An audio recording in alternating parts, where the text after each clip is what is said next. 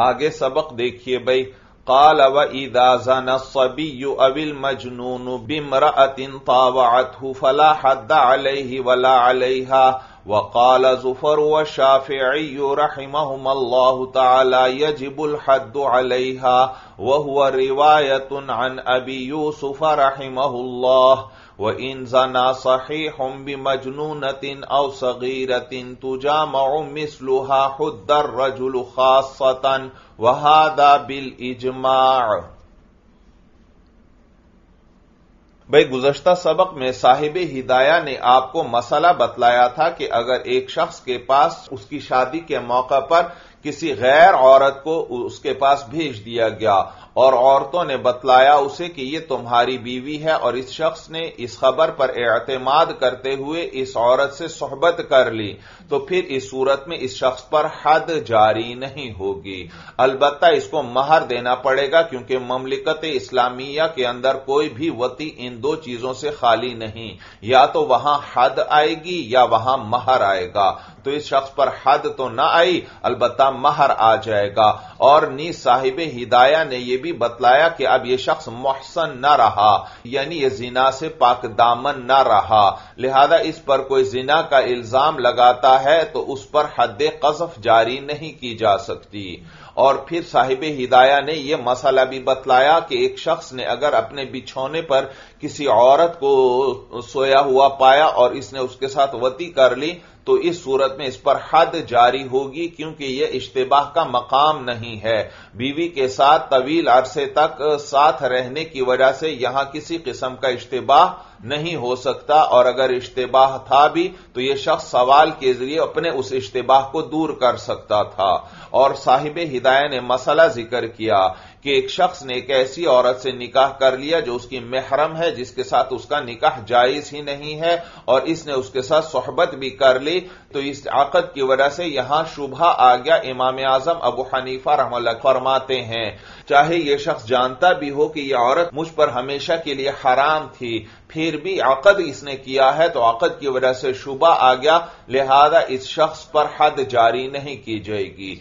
जबकि इमाम शाफी रहमल्ला और साहिबैन रहमल्ला फरमाते हैं कि यहाँ इस शख्स पर हद जारी की जाएगी, जब इसको इलम हो कि इस औरत से निकाह मेरे लिए हराम है। वो फरमाते हैं, वजह यह है कि ये जो आकद निकाह इस शख्स ने किया, ये अपने महल में नहीं है।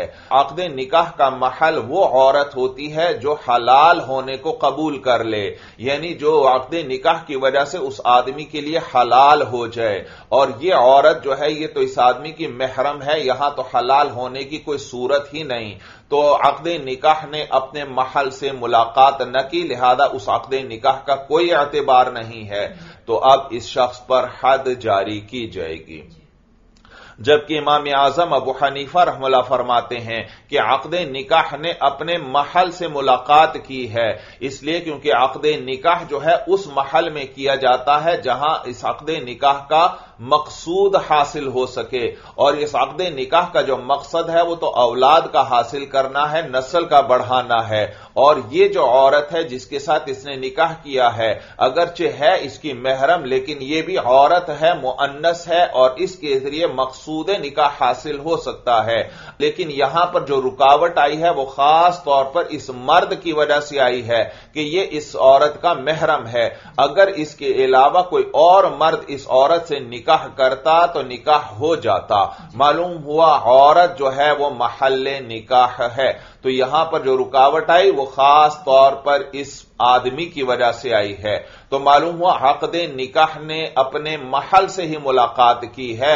अलबत्ता एक मान्य आ गया जिसकी वजह से निकाह का हुक्म साबित नहीं होगा। तो बेशक निकाह का हुक्म साबित ना हो, लेकिन बहरहाल आकद ने तो अपने महल से मुलाकात की है। लिहाजा इसकी वजह से शुबा आ गया और शुबे की वजह से हद साकित हो जाया करती है। लिहाजा इस आदमी पर भी हद वाजिब नहीं होगी भाई और फिर उसके बाद साहिब हिदाया ने मसला ज़िक्र फरमाया कि अगर कोई शख्स अजनबिया औरत के साथ शर्मगाह के अलावा के अंदर वती कर ले, मसलन रानों पर या पेट पर तो फिर इस सूरत में उसने नापसंदीदा फेल किया है और इसकी वजह से इसको सजा मिलनी चाहिए। लेकिन शरीयत के अंदर इसकी कोई सजा मुकर्र नहीं। लिहाजा यहाँ भी ताजीर की जाएगी, काजी उसको सख्त सजा देगा भाई।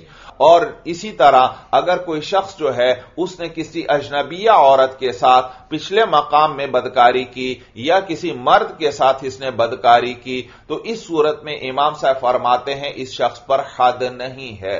जबकि साहिबैन फरमाते हैं कि ये फेल भी, ये भी जीना की तरह है, लिहाजा इनको भी हद लगाई जाएगी भाई। और साहिब हिदाय ने बतलाया कि इस सिलसिले में इमाम शाफी रहमुल्ला के दो कौल हैं।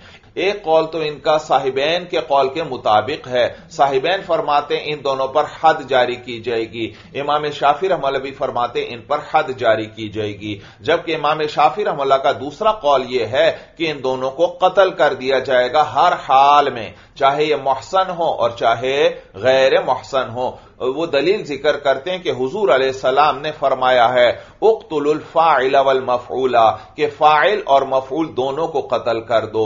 और नीज हदीस में आता है, फरजुमुल आला वल असफला, के ऊपर वाले को भी रजम कर दो और नीचे वाले को भी रजम कर दो। तो इमाम शाफी रहमल्ला फरमाते हैं कि इन दोनों को कत्ल कर दिया जाएगा। जबकि साहिबैन की दलील यह है कि ये दोनों फेल भी जीना के माना में हैं। ये दोनों फेल भी जिना के माना में है इसलिए क्योंकि जिना इसे कहते हैं कि अपनी शहवत को ऐसे मकाम पर पूरा करना जो कामिल दर्जे का काबिल शहवत है और नीज, वो फेल, महज फेल हराम हो, और वहाँ सिर्फ़ शहवत का पूरा करना मकसूद हो, और कोई मकसद ना हो। और ये तो इन दोनों के अंदर भी पाया जा रहा है। यानी औरत से ये जो बदकारी की है, या मर्द के साथ जो बदकारी की है, इसके अंदर भी ये वाला माना पाया जा रहा है कि इसके अंदर भी शहवत पूरी की जा रही है। एक ऐसे महल के अंदर जो कामिल तौर पर काबिल शहवत है, और ऐसे तरीके पर कि यह फेल महज हराम है और यहाँ मकसद जो है सिर्फ़ शहवत का पूरा करना है। तो ये फेल भी जिना के माना में है, लिहाजा इन पर भी हद जारी की जाएगी। इस पर साहिबैन पर इश्काल होता है। ये तो आप कयास के ज़रिए हद साबित कर रहे हैं। हालाँकि हद तो अदना शुबे से भी साकित हो जाती है। उसको तो कयास के ज़रिए साबित नहीं किया जा सकता। तो उसका जवाब मैंने बतलाया था कि साहिबैन जो है, वो कयास के ज़रिए यहाँ हद नहीं साबित कर रहे, बल्कि दलालत नस के ज़रिए। यानी नस उस पर दलालत कर रही है वो जो नस आई थी अजानियत वजानी फजलिदु कुल्लावाहिदी मिनहुमा मी अता जल्दा। मैंने आपको बतलाया था कि दलालत नस उस इल्लत को कहते हैं, जो नस से समझ में आए और आम अरबी ज़ुबान जानने वाला भी उसको समझ ले। वहाँ किसी किस्म के गौर फ़िक्र की ज़रूरत न हो। जैसे कुरान में अल्लाह वालिदैन के बारे में फरमाते हैं, फला तकुल लहुमा उफ़िन वालिदैन को उफ भी ना कहो। अब अरबी ज़ुबान जानने वाला हर शख्स ये बात समझ लेता है कि यहाँ पर जो वालिदैन को उफ कहने से मना किया गया है, उसकी इल्लत यह है कि इसकी वजह से वालिदैन को तकलीफ़ होगी। तो जब वालिदैन को उफ कहने से मना किया गया है तो वालिदैन को गाली देना या उनकी पिटाई करना बतरीके ओला मना होगा। तो वालदेन को गाली देना यह भी ममनो होगा, और वालदेन को मारना यह भी ममनो होगा। यह हुक्म किससे साबित हुआ? दलालत नस से नस ने इस पर दलालत की है। नस से जब पता चला कि उफ कहना हराम है ममनो है क्योंकि इसकी वजह से वालदेन को तकलीफ़ होती है। तो मालूम हुआ, हर वो फेल ममनू होगा जिससे वालदेन को तकलीफ़ हो। और जिसके अंदर इससे भी बढ़कर तकलीफ़ है, वो तो बतरीके ओला ममनू होगा भाई। तो दलालत नस उस इल्लत को कहते हैं जो अरबी ज़ुबान के एतबार से, नस से समझ में आए। वहाँ किसी गौर फ़िक्र की ज़रूरत न हो। तो यहाँ पर भी साहिबैन ने ये जो औरत के साथ जो बदकारी की, या जो मर्द के साथ जो बदकारी की है, इसको जीना वाला हुक्म दिया है दलालत नस के ज़रिए। कि नस इस पर दलालत कर रही है। क्योंकि नस के अंदर क्या आया? अजानियत वजानी फजलिदो कुल्ला वाहिद मिनहुमा मी अता जल्दा। मालूम जिना करने वाले की यह सजा है। और जिना किसे कहते हैं? कि एक कामिल दर्जे के शहवत वाले मकाम में अपनी शहवत को पूरा करना, इस तौर पर कि वो फेल महज हराम हो और वहाँ मकसद सिर्फ़ शहवत का पूरा करना हो और कोई मकसद न हो भाई और यह माना तो इन दोनों के अंदर भी पाया जा रहा है। तो ये भी जिना ही के माना में है, लिहाजा इनमें भी हद जारी की जाएगी। जबकि इमाम साहब फरमाते हैं कि नहीं, ये जिना नहीं है, क्योंकि अगर यह जिना होता तो सहाबा इसके अंदर इख्तिलाफ न फरमाते। हालाँकि सहाबा में से बास कहते हैं कि यह फ़ाइल और मफरूल जो हैं इनको कत्ल कर दिया जाए और फिर आग से जला दिया जाए। बास फरमाते हैं कि इन पर ऊँची दीवार गिरा दी जाए ताकि ये उसके नीचे दब कर मर जाएँ। और बास कहते हैं कि इनको ऊँची जगह से औंधे मुँह गिरा दिया जाए और फिर इन पर ऊपर से पत्थर गिरा दिए जाएँ ताकि ये खत्म हो जाएँ। तो अगर यह जीना होता तो सहाबा के अंदर इसकी सजा के मामले में इख्तलाफ ना होता।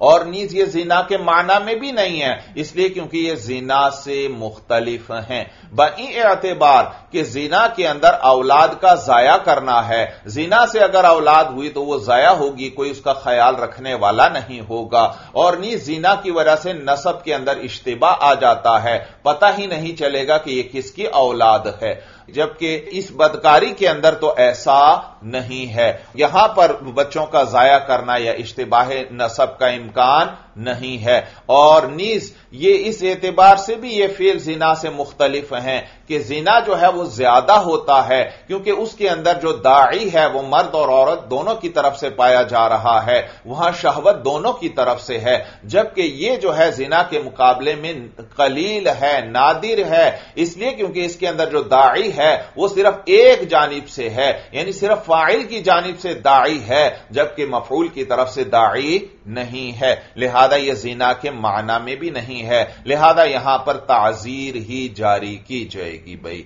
और बाकी वो जो हदीस के अंदर आया था कि फ़ाइल और मफूल को कत्ल कर दो या उनको रजम कर दो तो हम कहते हैं वो महमूल है सियासत पर कि हाकिम जो है सियासतन उनको कत्ल करवाना चाहे तो कत्ल कर सकता है। और या वो महमूल है हलाल समझने वाले पर। को अगर कोई इस फेले लिवातत को हलाल समझता है तो वो तो मुर्तद हो गया, काफिर हो गया। लिहाजा उसको तो कत्ल किया जाएगा भाई। तो ये हदीस उनके बारे में है।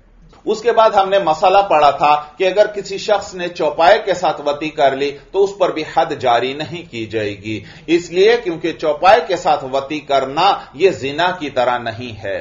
और नी जिससे तबीयत सलीमा नफरत करती है, और कोई इंतहाई शहवत की वजह से, या इंतहा दर्जे की हमाकत की वजह से इस किस्म के फेल पर आमादा होता है तो ये जब जिना की तरह नहीं है तो इसको जिना वाला हुक्म भी नहीं दिया जाएगा, और इसको ताजीर की जाएगी। और उसके बाद मैंने आपको बतलाया था कि हद जीना जारी करने के लिए पाँच शर्तें हैं। पाँच शर्तें पाई जाएँगी, फिर ही हद जीना जारी की जाएगी। और वो पाँच शर्तों में से पहली शर्त यह है कि जीना दारुल इस्लाम में हो।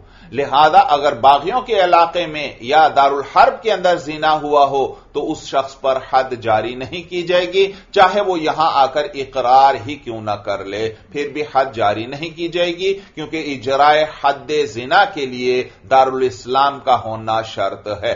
और दूसरी शर्त यह है कि जिना के अंदर असल जो है, वो मर्द है तो वो जिना करने वाला मुकल्लफ होना चाहिए। और तीसरी शर्त यह है कि वो जिना रजामंदी से हो गई। लिहाजा अगर ज़बरदस्ती किसी से जिना करवाया गया तो वहाँ हद जारी नहीं होगी भाई। और चौथी शर्त यह थी कि दोनों जानबों का इत्तेफाक हो उसके जिना होने पर। अगर दोनों में से एक भी कह दे कि हम दोनों ने तो निकाह किया था तो हद साकित हो जाएगी भाई। और पांचवी शर्त जो है वो अमीर का होना है। यानी अमीर हो जो इस हद जिना को नाफिज करवाए। अगर किसी मकाम पर अमीर नहीं है तो हद जिना भी नाफिज नहीं की जा सकती।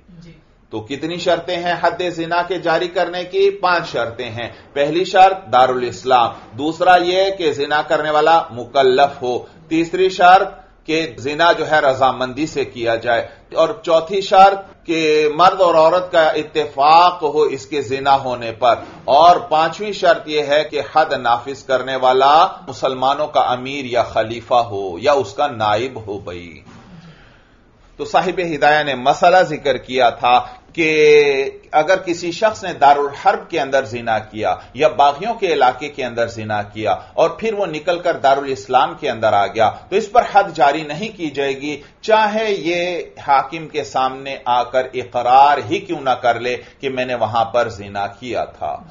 जबकि इमाम शाफी रहमला फरमाते हैं, इस पर हद जारी की जाएगी। इसलिए क्योंकि जब यह हमारे इलाके में आ गया, मुसलमान होकर तो इसने अपने लिए इस्लामी अहकाम का इल्तिजाम कर लिया। अपने ऊपर इस्लामी अहकाम को लाजिम कर लिया। लिहाजा इस पर हद जारी की जाएगी। जबकि हम कहते हैं कि हदीस में आता है, ला युकामुल हदूद फ़ी दारुल हरबी, कि दारुल हर्ब के अंदर हदूद कायम नहीं की जाएँगी। और दारुल हर्ब में हदूद कायम न करने से मुराद यह है कि दारुल हर्ब में हदूद वाज वाजिब ही नहीं होंगी।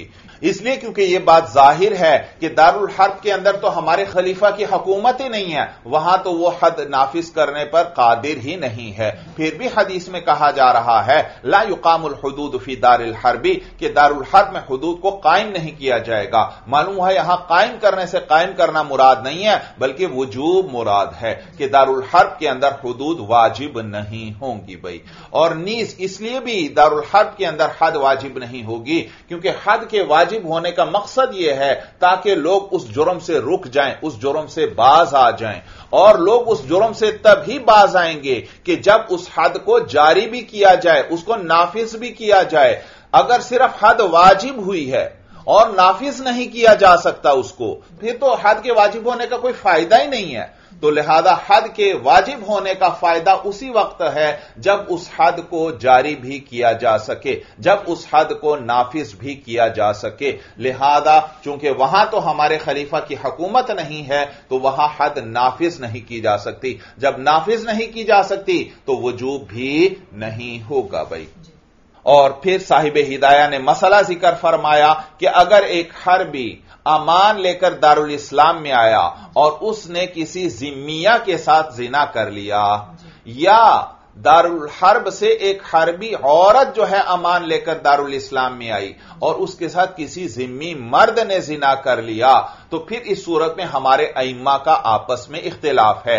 इमाम अबू यूसुफ रहमुल्ला फरमाते हैं कि इन चारों पर हद जारी की जाएगी। चाहे हरबी मर्द है या औरत है या जिम्मी मर्द है या जिम्मिया औरत है भाई।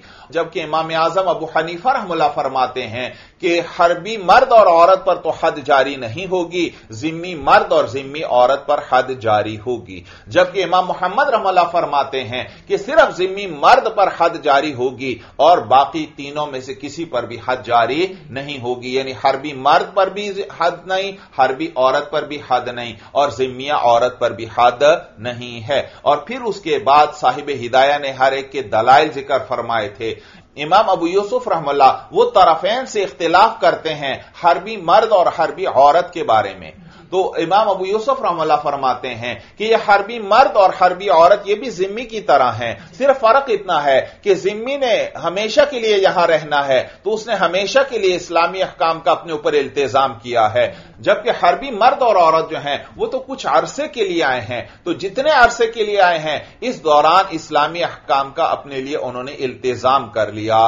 तो यह हरबी मर्द और औरत भी जब तक ममलिकत इस्लामिया में है, ये जिम्मी के दर्जे में है। और जिम्मी मर्द और औरत पर तो बिल इतफाक हद जारी की जाती है तो इस हरबी मर्द और औरत पर भी हद जारी की जाएगी भाई। और उसके बाद फिर तरफैन की दलील आई थी। मैंने बतलाया था कि तरफैन का आपस में भी इख्तिलाफ है। अलबत् एक चीज़ में दोनों का इतफाक है कि हरबी मर्द और औरत पर हद नहीं आएगी। इमाम अबू यूसुफ रमल्ला तो फरमाते हैं, हरबी मर्द और औरत पर भी हद आएगी, जबकि तरफैन फरमाते हैं, हरबी मर्द और औरत पर हद नहीं आएगी। तो पहले उनकी दलील ज़िक्र फरमाई साहिब हिदाया ने और बतलाया कि ये जो हरबी मर्द और औरत दारुल इस्लाम में आए हैं, ये यहाँ रहने के लिए नहीं आए कि आप इनको जिम्मियों वाला हुक्म दे दें, बल्कि ये अपनी हाजत और ज़रूरत की वजह से यहाँ आए हैं और इसीलिए ये जिम्मी के हुक्म में नहीं है। जिम्मी का तो यह हुक्म है कि अगर उसको कोई कत्ल कर देता है तो कातिल को भी किसास में किया जाएगा। हालाँकि हरबी मर्द और औरत का यह हुक्म नहीं है। अगर इनको कोई कत्ल कर देता है, चाहे कोई मुसलमान कत्ल करे, चाहे कोई जिम्मी कत्ल करे, उनको किसास के अंदर कत्ल नहीं किया जाएगा। वजह यह कि हरबी मर्द और औरत जो है यह महफूज दम नहीं है अलत ताबीद। यानी हमेशा के लिए यह महफूज दम नहीं। ये थोड़ी देर के लिए हमने इनको अमान दिया है तो यह महफूज दम हुए तो हैं, लेकिन आरजी तौर पर हैं। जबकि इसके मुकाबले में मुसलमान और जिम्मी जो हैं वो तो महफूज दम है अलत ताबीर, क्योंकि वो ममलिकत इस्लामिया में रहते हैं। और ममलिकत इस्लामिया के हर बाशिंदे की जान और माल महफूज है भाई। तो लिहाजा अगर वो हरबी मर्द या औरत जो है, किसी मुसलमान या जिम्मी को कत्ल करते हैं तो हरबी मर्द या औरत को तो किसासन कत्ल किया जाएगा। लेकिन अगर कोई मुसलमान या जिम्मी इस हरबी मर्द या औरत को कत्ल करता है तो फिर इस मुसलमान या जिम्मी को कत्ल नहीं किया जाएगा, क्योंकि वो जो हरबी मर्द और औरत थे वो अलग ताबीद महफूज दम नहीं थे भाई। और नीस इमाम अबू यूसुफ रमला फरमाते हैं कि इन्होंने हमारे अहकाम को मानने का इल्तिजाम किया है। तो उसका भी जवाब दिया कि इन्होंने हमारे तमाम अहकाम के मानने का इल्तिजाम नहीं किया, बल्कि सिर्फ़ उन अहकाम को मानने का इल्तिजाम किया है, जिनके ज़रिए इनका मकसूद हासिल हो सके। ये जिस मकसद के लिए आए हैं, इनका मकसद पूरा हो सके, और वो अहकाम वो हैं जो हकूकुल इबाद से मुतालिक हैं। वो अहकाम है जो हकूकुल इबाद से मुतालिक हैं, जबकि हद जिना, ये तो हकूकुल इबाद में से नहीं है, ये तो हक शरा है। लिहाजा हरबी मर्द और औरत पर हद जारी नहीं की जाएगी। और उसके बाद फिर तरफेन रहमल्ला में आपस में इख्तिलाफ है। इमाम अबू हनीफा रहमल्ला फरमाते हैं कि जिम्मी मर्द और जिम्मी औरत दोनों पर हद जारी की जाएगी। जबकि इमाम मोहम्मद रहमल्ला फरमाते हैं कि सिर्फ़ जिम्मी मर्द पर हद जारी की जाएगी, जिम्मी औरत पर हद जारी नहीं की जाएगी। और उसकी वजह और फ़र्क भी ज़िक्र फरमाया था साहिब हिदाया ने कि इमाम मोहम्मद रमला फरमाते हैं कि जिना जो है असल के अंदर मर्द का फेल है और औरत जो है वो उसके ताबे है। लिहाजा अगर असल से हद साकित हो जाए तो ताबे से भी हद साकित हो जाएगी। और अगर ताबे से हद साकित हो तो असल से हद साकित नहीं होगी। चुनाचे चुनाचे जब हरबी मर्द ने जिम्मिया औरत के साथ जिना किया तो इस सूरत के अंदर हरबी मर्द से हद साकित हो गई क्योंकि इसने हमारे तमाम अहकाम का इल्तिजाम नहीं किया। और जब असल यानी मर्द पर से हद साकित हो गई तो ताबे यानी जो जिम्मिया औरत है उससे भी हद साकित हो जाएगी। जबकि जब जिम्मी मर्द ने हरबिया औरत से जिना किया तो वहाँ पर हरबिया औरत से तो हद साकित हो गई। क्योंकि उसने हमारे तमाम अहकाम का इल्तजाम नहीं किया। लेकिन ताबे पर से हद साकित हो जाए तो उसकी वजह से असल से हद साकित नहीं होगी। लिहाजा इस जिम्मी पर हद जिना जारी की जाएगी। इमाम मोहम्मद रमला फरमाते हैं कि इसकी नजीर जो है, अगर कोई बालिग जो है, किसी सगीरा या मजनूना से जिना कर ले तो इस बालिग पर तो हद आएगी। जबकि सगीरा और मजनूना पर हद नहीं। तो देखो यहाँ ताबे से हद साकित हो गई, लेकिन ताबे की वजह से असल यानी उस बालिग मर्द से हद साकित नहीं होगी। जबकि इसके मुकाबले में अगर एक बालिगा औरत जो है, वो किसी बच्चे या मजनून को अपने ऊपर कुदरत दे दे तो बच्चा या मजनून जो है, वो उन पर तो हद नहीं है। और जब उन पर हद नहीं है तो ताबे जो मालिगा औरत है, इस पर भी हद नहीं आएगी भाई। जी, बात समझ में आ गई, जबकि इमाम आज़म अबू हनीफा रहमला फरमाते हैं कि यहाँ पर यह जो हरबी ने फेल किया है, वो भी जीना है। इसलिए क्योंकि कुफार भी हरुमात के मुखातब हैं। मैंने आपको बताया था शर्य अहकाम तीन किस्म के हैं। कुछ इबादात हैं, कुछ मामलात हैं और कुछ हरुमात हैं। कुछ इबादात हैं, कुछ मामलात हैं और कुछ हरुमात हैं। और सही कौल के मुताबिक ये जो कुफार हैं, ये हरुमात के मुकल्लफ हैं। जैसे मुसलमानों को हराम चीज़ों से रुकने का हुक्म है, इनको भी हराम चीज़ों से रुकने का हुक्म है। तो लिहाजा जैसे मुसलमान को जिना से रोका गया है इसी तरह जिम्मी और हरबी को भी जिना से रोका गया है। तो हरबी ये जो जिम्मिया के साथ जिना कर रहा है यह फेले जिना ही है भाई। क्योंकि जिना वो फेल है जिससे शरीयत ने मना किया हो और उसका करने वाला गुनाहगार हो। और यह सिफत इस हरबी के अंदर भी पाई जा रही है। एक तो इसके कुफर का गुनाह है और नीज ये हराम फेल कर रहा है। इसका भी इसको गुनाह मिलेगा और इसको दुगना आजाब मिलेगा भाई। तो लिहाजा मालूम हुआ, हरबी का जिम्मिया के साथ जो ये बदकारी वाला फेल है, ये भी जीना ही है भाई। तो जिमिया का इस हरबी को अपने ऊपर कुदरत देना यह भी हद का बाइस है। इसलिए क्योंकि वो फेले जिना पर कुदरत दे रही है उसको। वो फेले जिना पर कुदरत दे रही है। लिहाजा लिहाजा यह हद दोनों पर आ गई। अलबत्ता फिर हरबी से यह हद साकित हो गई। इसलिए क्योंकि उसने हमारे तमाम अहकाम का इल्तजाम नहीं किया है। तो सिर्फ़ जिमिया जो है उस पर हद जारी होगी। जबकि इसके मुकाबले में सभी और मजनून जो हैं वो तो मुकल्लफ ही नहीं है भाई। वो तो मुकल्लफ ही नहीं है वो शरी अहकाम के मुखातब ही नहीं है। तो लिहाजा उनका जो फेल है वो जिना है ही नहीं। जब उनका फेल जिना नहीं है तो वो बालिगा औरत जिसने इस बच्चे और मजनून को अपने ऊपर कुदरत दी है उसने जिना की कुदरत नहीं दी। उसने उसने बुरे फेल की कुदरत तो दी है, लेकिन इसको जिना की कुदरत नहीं कहेंगे भाई। तो इस बालिगा ने, बच्चे और मजून को जो अपने ऊपर कुदरत दी है यह जिना की कुदरत नहीं है भाई। जब यह जिना की कुदरत नहीं है तो लिहाजा यहाँ पर इस बालिगा पर भी हद जारी नहीं होगी भाई। तो इमाम अबू हनीफा रहमला का जबता भी मैंने ज़िक्र किया था कि इमाम अबू हनीफा रहमला भी फरमाते हैं कि जिना के अंदर असल मर्द है।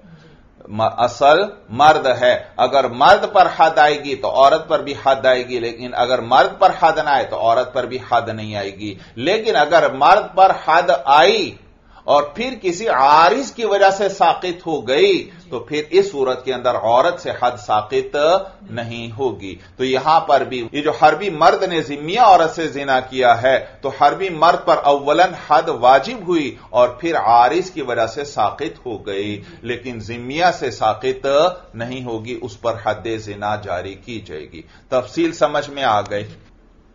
अब आइए आज के सबक पर काल व इदा जना सबीयु अविल मजनून बिमरा अतिन पावात फला हद अलही वला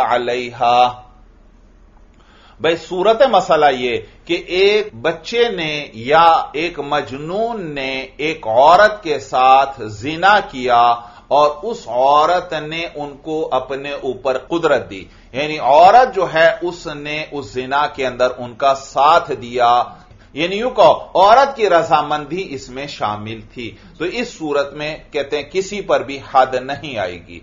वजह यह कि, क्योंकि ये बच्चे और मजनून का फेल जिना नहीं कहलाता। तो इस औरत ने जिस फेल पर इनको कुदरत दी है, वो फेल जिना नहीं है। लिहाजा ना उस मजनून और बच्चे पर हद है, क्योंकि वो तो मुकल्लफ ही नहीं है। और इस औरत पर भी हद नहीं, क्योंकि इसने फेल जिना पर कुदरत नहीं दी। भाई, और मैंने आपको बतलाया था कि इजराय हद के लिए पाँच शर्तें हैं। पहली शर्त क्या थी कि दारुल इस्लाम हो। दूसरी शर्त कि वो फेल करने वाला, यानी जिना करने वाला जो मर्द है, वो मुकल्लफ होना चाहिए। तो यहाँ पर वो दूसरी शर्त मादूम है। बच्चा और मजनून, ये तो मुकल्लफ नहीं है भाई। तो जब ये मुकल्लफ नहीं तो यहाँ हद भी नहीं आएगी।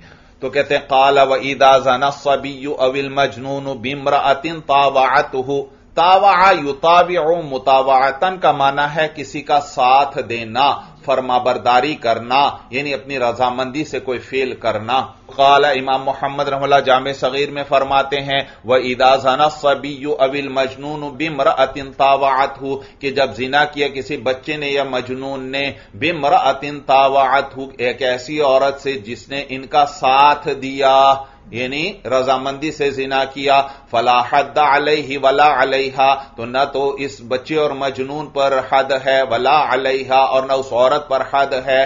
व काला जुफर व शाफी रहीमल्ला और इमाम जुफर और इमाम शाफी रहीमल्ला फरमाते हैं यह जिबुल हद अलहा, कि इस औरत पर हद वाजिब होगी। वह हुआ रिवायत अन अबी यूसुफ रहमल्ला और यही एक रिवायत है इमाम अबू यूसुफ रहमल्ला से भी।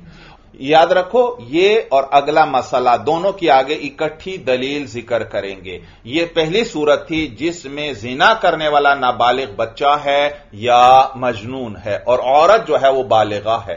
अब इसका बरक्स कर लें। जिना करने वाला मर्द जो है वो है बालिग आकिल, और जिससे जिना किया वो नाबालिगा या मजनूना है। तो दोनों की दलीलें आगे फिर ज़िक्र फरमाएँगे। तो कहते हैं, वह इन जाना सही और अगर एक सही मर्द ने जिना किया, सही यानी आकिल बालिग ने जिना किया भी मजनूनतिन और सगीरतिन। किसी मजनूना औरत से और सगीरतिन तुजा माऊ मिसलुहा, सगीरतिन नकेरा है। और तुजा माऊ मिसलुहा, ये इसके बाद फेल आ रहा है तो ये इसकी सिफत बनेगा। तो किसी आकिल बालिग मर्द ने जिना किया भी मजनून अतिन किसी मजनूना औरत से और सगीर अतिन तुजा मऊ मिसलुहा या ऐसी नाबालिगा से कि उस जैसी से जिमा किया जा सकता है। कि उस जैसी से जिमा किया जा सकता है यानी बालिगा होने के करीब है। तो कहते हैं अव सगीर अतिन तुजा माऊ मिसलुहा। या ऐसी नाबालिगा के साथ, के उस जैसी के साथ जिमा किया जा सकता है। यानी वो काबिल जिमा है। तो खुद दर्र जुलू खास सतन तो हद लगाई जाएगी खास तौर पर उस आदमी को। यानी वो मजनूना या नाबालिगा पर तो हद नहीं, लेकिन उस आदमी पर हद वाजिब होगी। वहादा बिल इजमा, और यह बिल इजमा है। यानी इसमें हमारे अइमा का और इमाम शाफी रहला का इत्तेफाक है भाई। लहुमा। अब दलील आ गई, इमाम जुफर और इमाम शाफी रही की। ये लहुमा की हुमा जमीर किसको राजे है? पीछे किसका मज़हब ज़िक्र हुआ था? वकाल जुफर व शाफी यह यजिबुल हद तो ये जमीर उनको राजे है।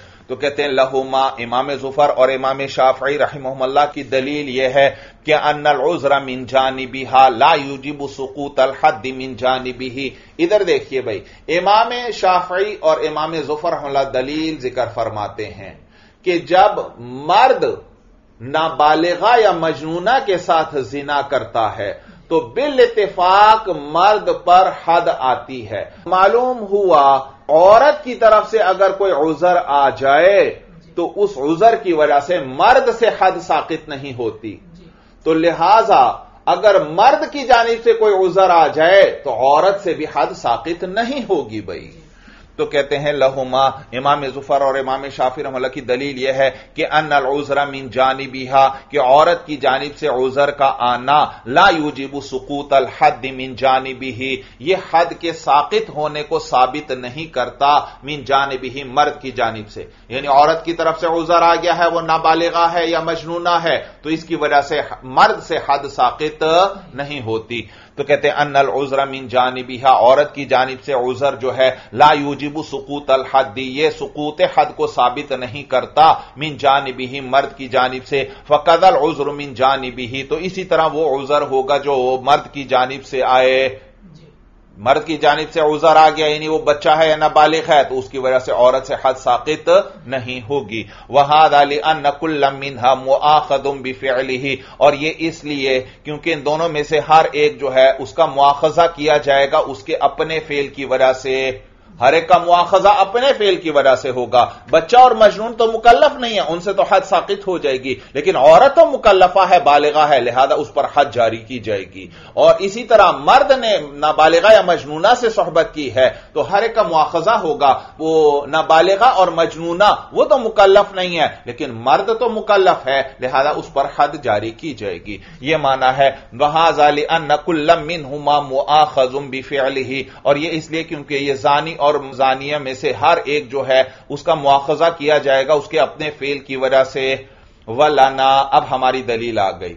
हमने क्या कहा था? कि अगर जिना करने वाला नाबालिग है या मजनून है तो फिर औरत पर भी हद नहीं। और अगर जिना करने वाला बालिग है तो फिर उस पर हद आएगी। वलना और हमारी दलील यह है कि नफे अला जिना यतहक मीन हूँ कि फेले जिना जो है वो मर्द की तरफ़ से पाया जाता है। फेले जिना मर्द से होता है यानी जिना करने वाला असल में मर्द है औरत तो सिर्फ़ उसको कुदरत दे रही है इस फेल पर। इसीलिए मर्द को जानी कहते हैं और औरत को मजनिया कहते हैं। मजनिया इसमें मफूल है भाई जैसे रमा यरमी रमियन फहु रामिन वरुमिया युरमा रमियन फजा का मरमीयुन इसी तरह जना यजनी जिनन फहुआ जान इन वजुनिया युजना जिनन फदा का मजनी तो मजनी इसमें मफूल है और ये मुअन्नस है तो गोलता भी साथ लगा देंगे मजनी यह बई तो जिना असल में मर्द का फेल है इसलिए उसको जानी कहते हैं औरत का फेल नहीं है औरत को मजनिया कहते हैं और नीज इसी तरह मर्द को वाती कहते हैं वती करने वाला। और औरत जो है वो महल्ले वती है उसको मोतुआ कहते हैं। तो वती किसका फेल? मर्द का। इसी तरह जिना भी किसका फेल? मर्द का। इस पर इश्काल होता है कि औरत को भी तो जानिया कहा जाता है। कुरान में भी अल्लाह फरमाते हैं अजानियत व जानी औरत को जानिया कहा गया है। तो साहिब हिदाया आपको बतलाएँगे कि औरत को जो जानिया कहा जाता है वो मजाजन है भाई। हकीकत में वो जानिया नहीं है भाई। वलाना, हमारी दलील यह है क्या नफे अला जिना यतहमिन हु कि फ़ैल जिना जो है वो मर्द की तरफ़ से होता है। व इन नमा ही महलफेली और औरत जो है, ये तो उस फेले जिना का महल है। व लिहाजा युसम्मा हुआ वाती अम वजानिया और इसीलिए इस मर्द को वाती और जानी कहा जाता है। वल मर अतु मोतू अतऊ व मजनी यम बिहा, और औरत को मोतुआ और मजनीयम बिहा कहते हैं। इला अन्ना सुमियत जानियतन मजाजन मगर यह कि औरत को भी जानिया कह दिया जाता है मजाजन। औरत को भी मजाजन जानिया कह दिया जाता है। भाई क्यों जानिया मजाजन क्यों कहते हैं? उसकी वजह भी ज़िक्र कर रहे हैं। कहते हैं वजह यह कि अरबी ज़ुबान के अंदर कभी कभार मफूल के लिए भी इसमें फ़ाइल वाला लफ्ज इस्तेमाल कर लिया जाता है। जैसे कुरान के अंदर जन्नतियों के बारे में अल्लाह फरमाते हैं फ़ी ईशतिन राजिया। फ़ी ईशतिन राजिया। ईशा का माना है ज़िंदगी। और राजिया का माना है राज़ी होने वाली। अब मुझे आप बताइए कि वो ज़िंदगी राज़ी होगी या ज़िंदगी वाले राज़ी होंगे? ज़िंदगी वाले राज़ी होंगे। तो यहाँ ये जो राजिया आया, ये बमाने मर्जिया के है। ज़िंदगी मर्जिया होगी, पसंदीदा होगी, लेकिन उस पर मर्जिया के लिए इसमें फ़ाइल इस्तेमाल कर लिया गया। मालूम हुआ कभी मफूल के लिए भी इसमें फ़ाइल इस्तेमाल कर लिया जाता है भाई। तो कहते हैं, इल्ला सुमियत जानियतम मजाजन। मगर यह कि औरत को जानिया मजाजन कह दिया जाता है, तस्मियतन लिल मफूल बिस्मिल फ़ाइल। मफूल को इसमें फ़ाइल के साथ मौसूम करते हुए, कर राजियती फ़ी मानल मर्जियती। जैसे राजिया जो है, मर्जिया के माना में यह अरबी ज़ुबान में इस्तेमाल होता है। अलिकौन यहाँ मुसबिबतन बितमकीनी सबब युसबिबु तस्बीब का माना है सबब बनना। या इस वजह से कि औरत जिना का सबब बनी है कि इसने जिना की कुदरत दी। अगर यह जिना की कुदरत न देती तो जिना न होता।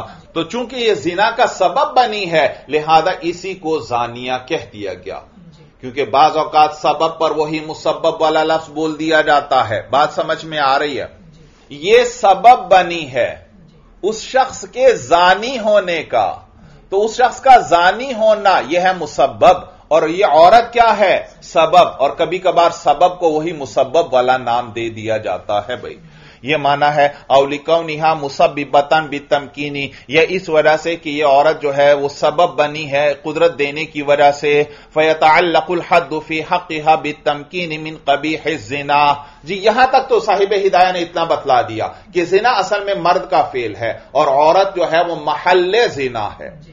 लिहाजा औरत पर हद तब आएगी जब वो किसी को जिना पर कुदरत दे। और मर्द इस औरत के साथ कोई बालिग मर्द इस औरत के साथ जिना करता है तो मर्द का फेल है जिना। और इस औरत ने जिना पर कुदरत दे दी तो दोनों पर हद आएगी। लेकिन अगर इसका बच्चा या नाबालिग जो है वो वती करता है तो बच्चा या नाबालिग जो है उसका फेल तो जिना नहीं कहलाता। उसका फेल तो जिना नहीं कहलाता इसलिए क्योंकि जिना तो वो फेल है जिसे शरीयत ने मना किया है। और जिसका करने वाला गुनाहगार होता है और बच्चे और मजनून में तो यह सिफत नहीं वो तो मुखातब भी नहीं है उनको तो हुक्म भी नहीं है और नीज वो गुनाहगार भी नहीं। तो मालूम हुआ बच्चे और मजनून का फेल जीना नहीं। लिहाजा बच्चा और मजनून जो है उनको एक औरत अपने ऊपर कुदरत दे रही है तो ये फेले जिना पर कुदरत नहीं दे रही। जब ये फेले जिना पर कुदरत नहीं दे रही तो इस औरत पर हद भी वाजिब नहीं होगी। फ़र्क समझ में आया? तो कहते हैं फ़ैतल्लकुल हद फ़ी हक़ा लिहाजा हद का ताल्लुक होगा उस औरत के हक में बिद तमकीन कुदरत देने से। किस चीज़ की कुदरत? मिन कबीह जिना, उस जिना की जो कबीह है। कबीह जिना, कबीह मुजाफ, अजिना मुजाफुन इल और याद रखो यह सिफत की इजाफत हो रही है मौसूफ की तरफ़। वो जिना कबीह है। तो अरबी में बाज सिफत को मौसूफ पर मुकदम करके उसकी तरफ़ इजाफत कर दी जाती है। तो इस औरत पर भी हद आती है। औरत पर भी हद आती है, लेकिन किस वक्त? जब वो वो जब जिना जैसे फेले कबीह पर किसी को कुदरत दे।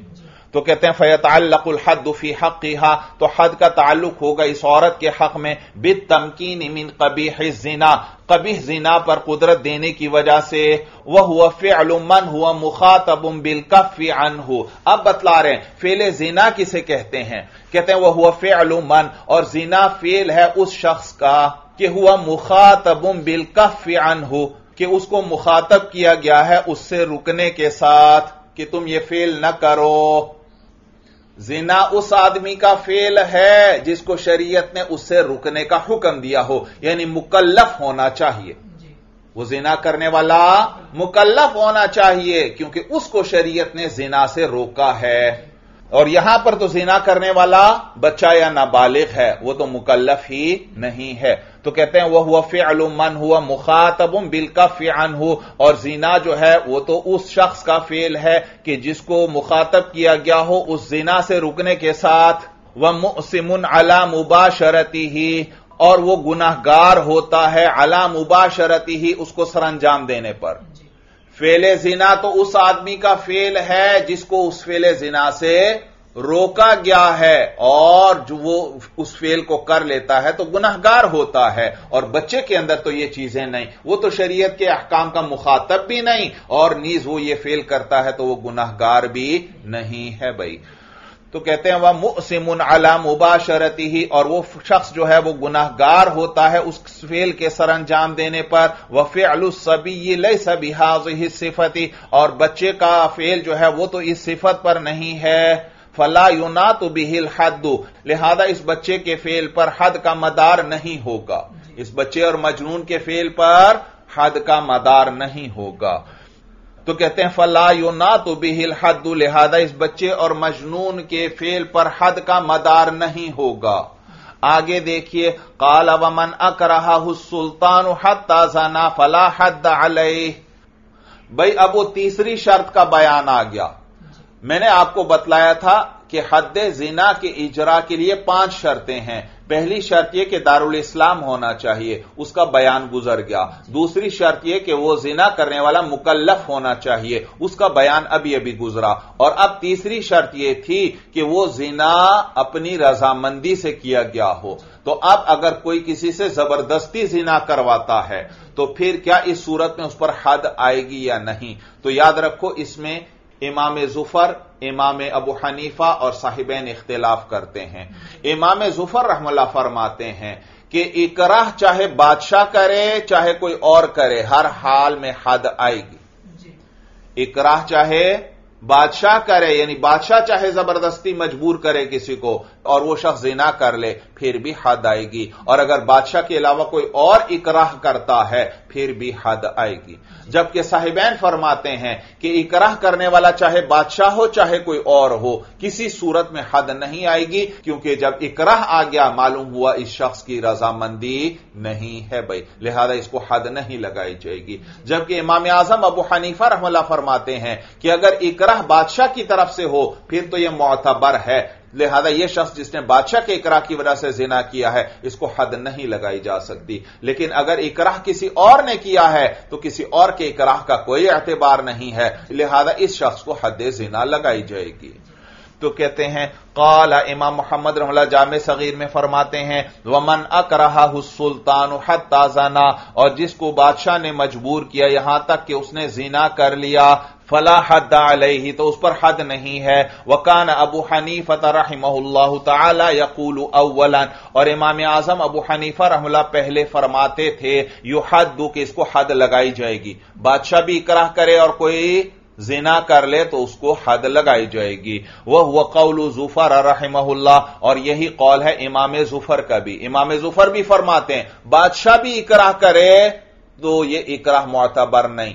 तो इस आदमी को हद लगाएँगे। और जब बादशाह का इकरा मोतबर नहीं तो किसी और का इकरा बतरीके ओला मोतबर नहीं। लिहाजा इमाम जुफर के नज़दीक कोई भी इकराह करे तो फिर भी हद लगाई जाएगी। तो कहते हैं, वह हुआ कौल जुफर रहमल्ला और यही कौल है इमाम जुफर रहमल्ला का लिअन जीना मिनर रजुली ला यकून इल्ला बादन तिशार आलती। कहते हैं लिअन जीना मिनर रजुली। इसलिए क्योंकि जीना जो है मर्द की तरफ़ से, ला यकून, वो नहीं हो सकता, इल्ला बादन तिशार आलती। मगर उसके आल तनासुल में इंतशार के बाद। आला तनासुल में इंतशार आ जाए, यानी सख्ती आ जाए, उसके बाद ही जीना हो सकता है, उसके बगैर जीना नहीं हो सकता। और ये आला तनासुल में इंतशार का आना यह जीना पर राज़ी होने की दलील है। मालूम हुआ यह फेल वो अपनी मर्ज़ी से कर रहा है। बात समझ में आ गई। तो कहते हैं लिअन जीना मीनर रजुलीला यकून इल्ला बादन तिशार आलती। कहते हैं, इसलिए क्योंकि मर्द की तरफ़ से जिना नहीं हो सकता, मगर इंतशार आला के बाद वसालिका दलील तवायती और ये इंतशार आला जो है तवायत की दलील है, यानी साथ देने की दलील है कि वो रजामंदी से ये फेल कर रहा है। सुम मर्रा जा हो फिर इमाम आज़म अबू हनीफा रहल्ला ने से रुजू फरमा लिया। फ़काल अला हद अलही। तो फरमाया, इस पर हद नहीं है, जिसको बादशाह ने मजबूर किया है। इस पर हद नहीं है। लिअन नसब अबाहुल मुलजी काइमुन जाहिरन। मुलजी भाई अलजा युलज इल्जा का माना है किसी को मजबूर करना। इसलिए क्योंकि जब बादशाह ने मजबूर किया है तो वो सबब मुलजी मौजूद है। बादशाह या उसके आदमी तलवार लेकर सर पर खड़े हैं, भाई। तो वो सबब जो इकराह पर मजबूर कर रहा है, वो जाहिरन मौजूद है। लिहाजा इसके ये फेल जो है, रजामंदी से नहीं है। तो कहते हैं लिअन नसा बाबाहुल मुल जी का इमुन जाहिरन। इसलिए क्योंकि वो सबब जो मजबूर करने वाला है का इमुन वो मौजूद है, जाहिरन जाहिरी तौर पर। वल इंतशार दलील उम मुतरदिन और आला तनासुल का इंतशार जो है दलील उम मुतरदिन वो तो एक मुतरद दलील है। उस दलील में तरद है, यानी उसमें रजामंदी के अलावा गैर का भी एहतमाल है। और जब गैर रजामंदी का भी एहतमाल वहाँ पर आ गया तो अब उसको दलील नहीं बनाया जा सकता। तो कहते हैं वल इंतशार दलील उम मुतरद और इंतशार आला जो है, ये ऐसी दलील है जिसमें तरद है, यानी जिसमें गैर का भी एहतमाल है। लिअनहु कद यकून उमिन गैर कसदिन। इसलिए क्योंकि इंतशार कभी बगैर इरादे के भी होता है। लिअन इंतशार कद यकून तब अन ला तोन इसलिए क्योंकि इंतशार जो है कभी कभार तब अन होता है, ला तोन रजामंदी के तौर पर नहीं होता, बल्कि तबान होता है। कमाफिन नाइमी, जैसे कि सोए हुए शख्स में है। और रसा शुभहातन तो इसने शुभा पैदा कर दिया। जब इंतशार तबान भी हो सकता है तो इस इंतशार को साथ देने की दलील नहीं बनाया जा सकता, क्योंकि इसके दलील होने में शुभा आ गया। तो यह माना है फ़ावरसा शुभातान तो इसने शुभा पैदा कर दिया।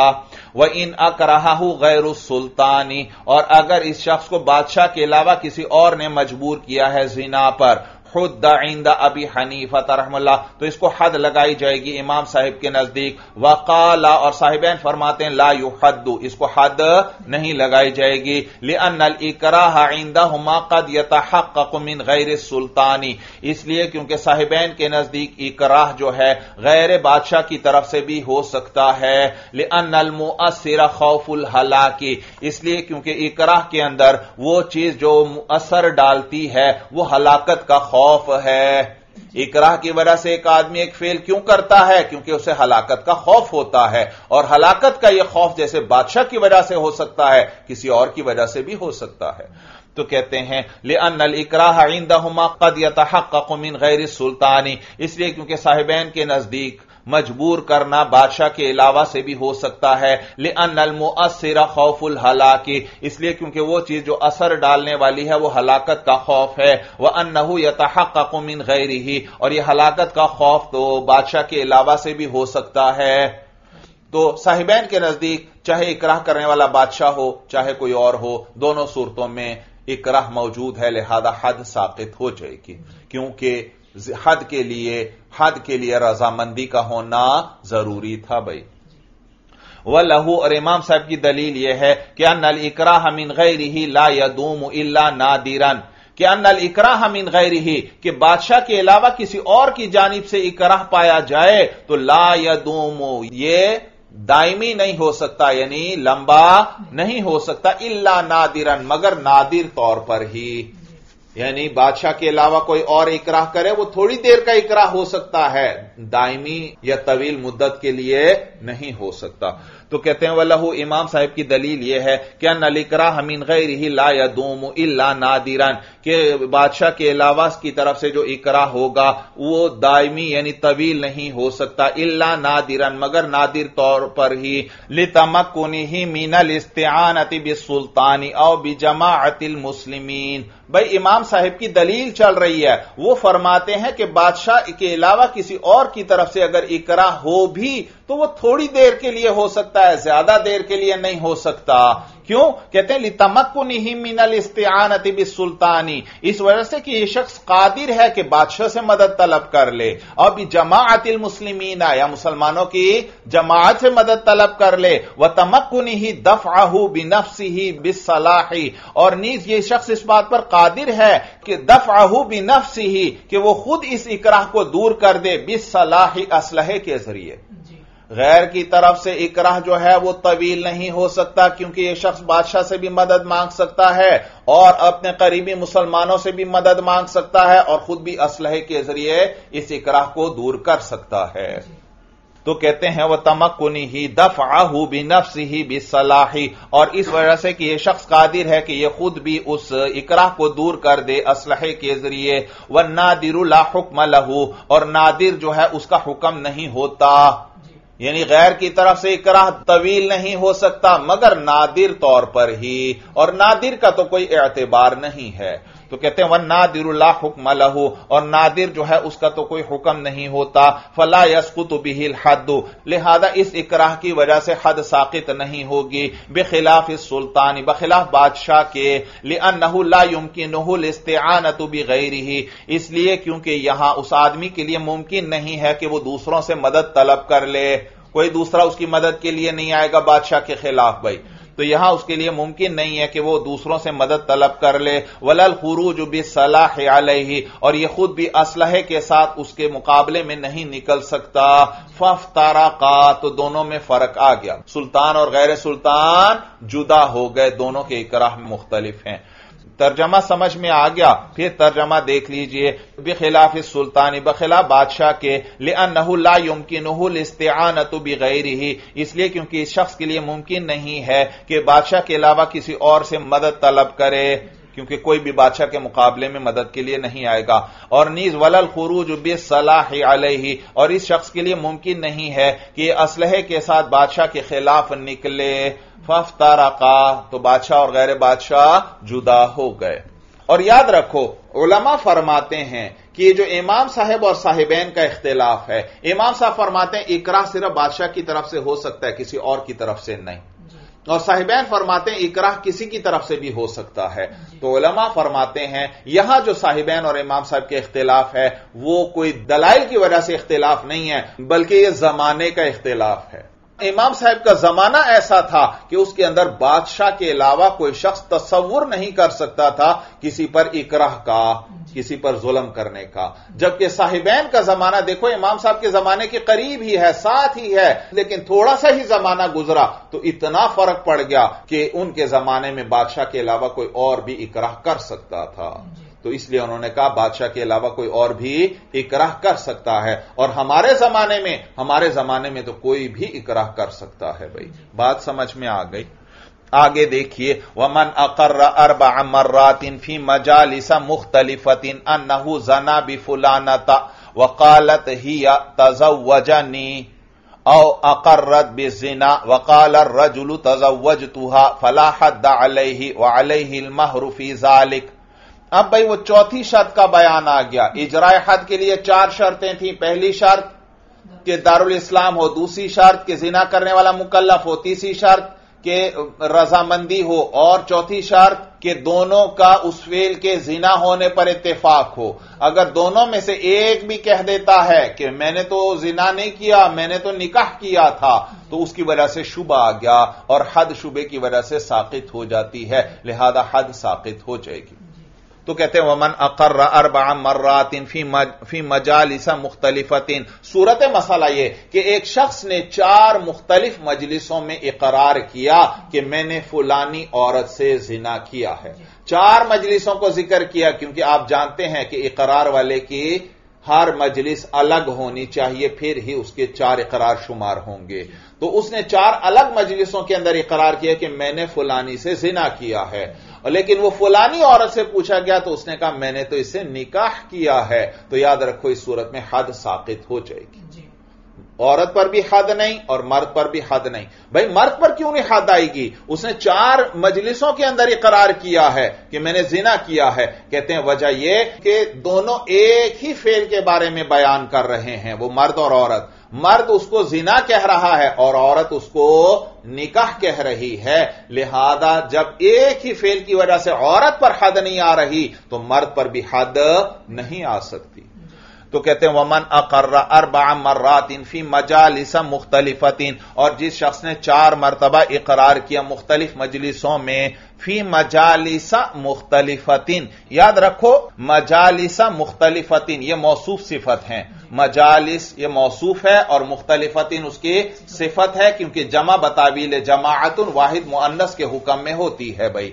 और इन पर फ़ी दाखिल हो रहा है। अलबत्ता मजालिस पर कसरा नहीं आया क्योंकि गैर मुनसरिफ है। ये जमा मुंतहल जुमो का वज़न है और ये खुद दो सबबों के कायम मकाम है। तो ये मजालिस का लफ्ज मजरूर है। अलबत्ता इसका जर आता ही फतहा की सूरत में है, क्योंकि यह गैर मुनसरिफ है। और जबकि मुख्तलिफतिन उस पर जर आएगा, क्योंकि वो तो गैर मुनसरिफ नहीं है भाई।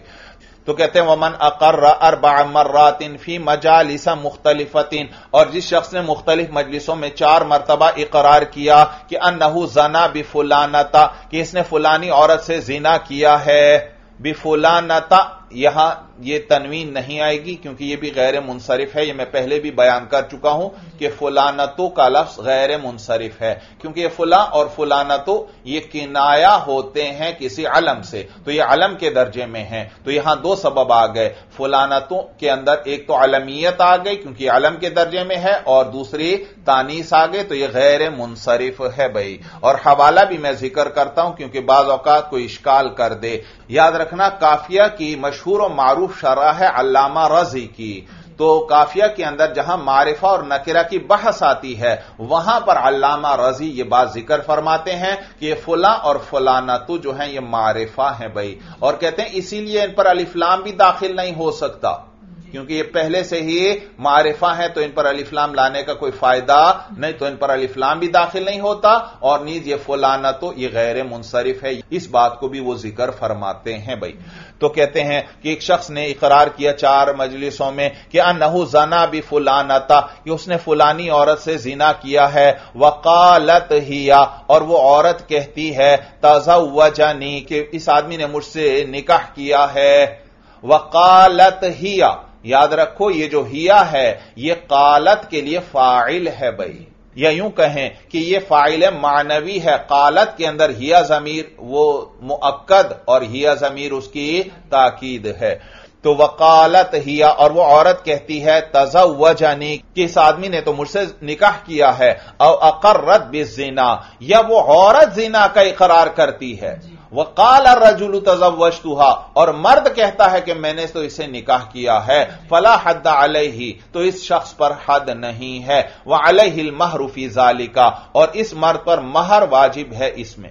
यानी दोनों सूरतों में इस आदमी को महर देना पड़ेगा। हद तो नहीं आएगी। लेकिन ममलिकत इस्लामिया के अंदर जो भी वती हो, वो हद या महर से खाली नहीं। हद नहीं आई तो महर आ जाएगा। तो कहते हैं वाल हिल महरूफी जालिका और इस आदमी पर महर होगा इस सूरत में यानी ये दोनों सूरतों में। लिअन दावन निकाह यह तमिल का इसलिए क्योंकि निकाह का जो दावा है वो भी सच का एहतमाल रखता है। दोनों में से एक ने निकाह का दावा कर दिया तो ये भी सच का एहतमाल रखता है। वह हुआ यकूम उबित तरफैन और निकाह जो है वो तो दोनों के साथ कायम होता है। निकाह तो दोनों के साथ कायम होता है, निकाह तो मर्द और औरत के दरमियान होता है तो इसका ताल्लुक दोनों से है भाई। फसा शुभ हतन तो इस दावे ने दूसरे के दावे में शुभा पैदा कर दिया। बात समझ में आ रही है? तो कहते हैं, वह इदासा कतल हद्दू और जब हद साकित हो गई व जबल महरू तो महर वाजिब हो गया, ताजीमन लिखतरिल बोजई बोजन मैंने आपको बतलाया था कि फर्जुल मरआ को कहते हैं भाई, औरत की शर्मगाह को। ताजीमन लिखा लिखतरिल बोजई खतर कहते हैं हुरमत और एहतराम को भाई तो कहते हैं वह इदा सकतल हद्दू और जब हद साकित हो गई व जबल महरू तो महर वाजिब हो गया ताजीमन लिखतरिल बुजई बुजा की हुरमत की ताजीम के तौर पर। कि बुजा क्या है? एक इंसानी उज्व है। और इंसान को अल्लाह ने मुआजस बनाया है। तो हर इंसानी उज्व भी मुआजस है। लिहाजा बुजा भी एक मुआजस उज हुआ। लिहाजा इसकी ताजीम के तौर पर महर वाजिब होगा कि हद तो नहीं आ सकी, लेकिन बहरहाल जुर्माने के तौर पर, जुर्माने के तौर पर महर वाजिब हो जाएगा भाई आगे देखिए वह मंजना भी जारियतिन फ़कत अल्लाह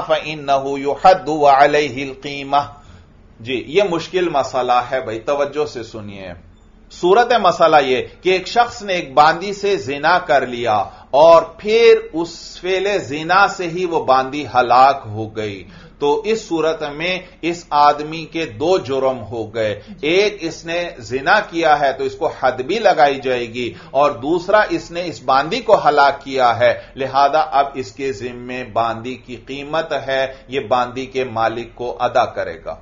तो कहते हैं, वह मन जना भी जारियतिन। और जिस शख्स ने किसी बांदी से जिना किया फ़क़त अलाहा तो इसने उसको कत्ल कर दिया। फ फ़िन नहू युहदू तो इस आदमी को हद लगाई जाएगी। वह अलई हिल कीमतु, और इस आदमी पर उस बांदी की कीमत वाजिब होगी। माना हो अब साहिब हिदाया यहाँ से इस कौल का माना बयान कर रहे हैं। इसकी वजाहत कर रहे हैं कि बांदी से जिना किया और उसे कत्ल कर दिया। इसका क्या माना? साहिब हिदाया बतलाएँगे, माना यह है कि फेल पहले जिना ही के ज़रिए उसको कत्ल किया है।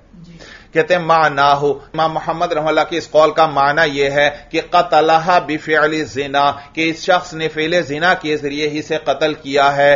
अब इल्लत बयान करने लगे हैं। मतन में आया था, इस आदमी पर हद भी होगी और इसको बांदी की कीमत भी देना पड़ेगी। तो अब उसकी वजह ज़िक्र कर रहे हैं। कहते हैं लिअन नहू जना जिनायतनी। इसलिए क्योंकि इस आदमी ने दो जुर्म किए हैं। फयुआ फरू अला कुल वाहिदिन मिन हुमा हुक्म वफ़रा युवा फिर तौफीर का माना है, किसी को उसका पूरा हिस्सा देना, किसी को उसका पूरा हक अदा करना तो यहाँ इसने दो जुर्म किए हैं, लिहाजा हर जुर्म को उसका पूरा हुक्म दिया जाएगा।